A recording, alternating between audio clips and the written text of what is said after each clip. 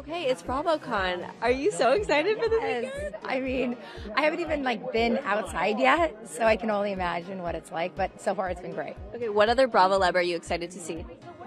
Um, I actually met her already, but I love Tamra. I, I went to UC Irvine, so I've always been an OC fan.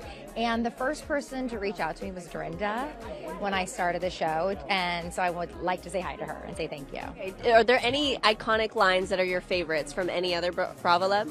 Um, I ran into Teresa last night at dinner.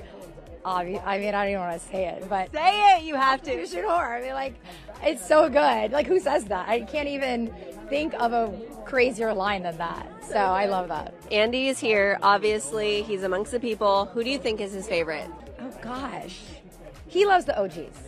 They, you know, they built this brand, so I understand. So I think he likes all the original girls. When you guys are all with each other and you're with Andy, do you feel like people are really trying to like, you know, be on their best behavior, suck up to him, really put I it on? I don't, but they do. Who puts it on the most? I would say the OGs do. Like the and you, there's only a couple OGs, so Okay. yeah, you see it. So the process I'm of elimination, I'm not we know. officer, so Okay, good for you. Yeah. On a scale of one to ten, how rude was it that Mauricio wouldn't make Kathy grilled corn? not rude. Okay. Not that rude. Okay, so just one. Got it. I host dinners almost every night. I'm like, it's like a lot of work.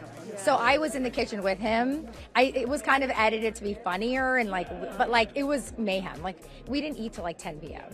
So I was like, don't do anything extra. Just like let's get the food on the table. So yeah, like let's just yeah, no girl card. Is it acceptable to wear a cat sweater on a date? No, never. And she knows I've said that's not going to be a surprise to her. No, never, never, ever, ever, ever. We will never agree to that. Is it generally a bad idea for siblings to go on a reality show together? Yes. Okay, all right. Yeah, I agree. I mean, look at all the other drama happening. That's it. Which conspiracy theory do you think more people believe? That Diana was a madame or that Mauricio and PK partner swap?